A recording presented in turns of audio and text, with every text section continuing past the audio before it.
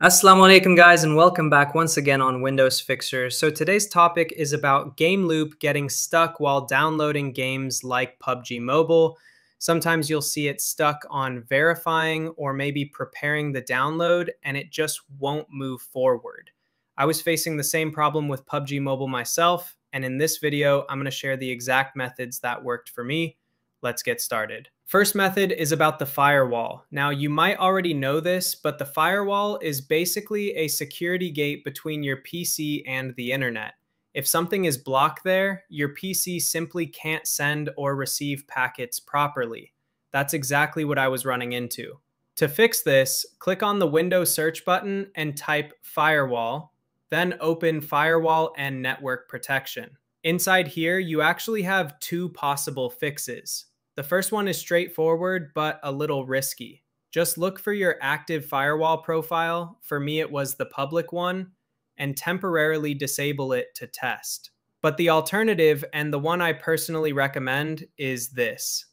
Click on Restore Firewalls to Default. Now, you might be thinking, why is this better? The reason is simple. Once you restore the firewall, restart your PC. After restarting, when you open Gameloop again, it will ask you to allow the connection. Just click allow and it won't block Gameloop anymore. Basically, this way, every program that needs internet asks for permission fresh, and you can allow it easily. All right, moving to the second method.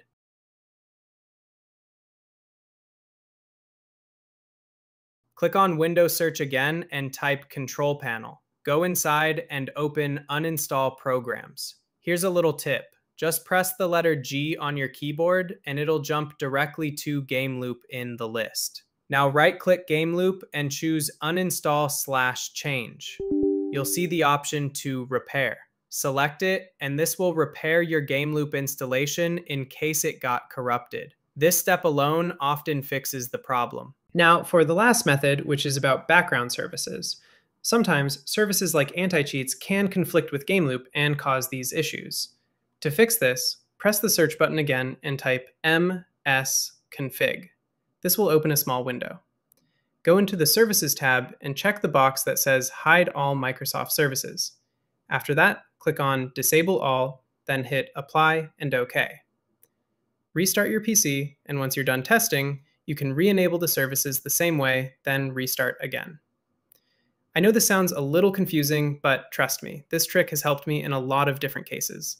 And just a quick note, this method is especially helpful if your game is not launching or stuck on verifying, rather than just preparing the download. And that's it for today's video, guys. I hope one of these methods works for you, and if it does, don't forget to hit the like button and subscribe for more fixes. Till then, I'll see you in the next video. Bye!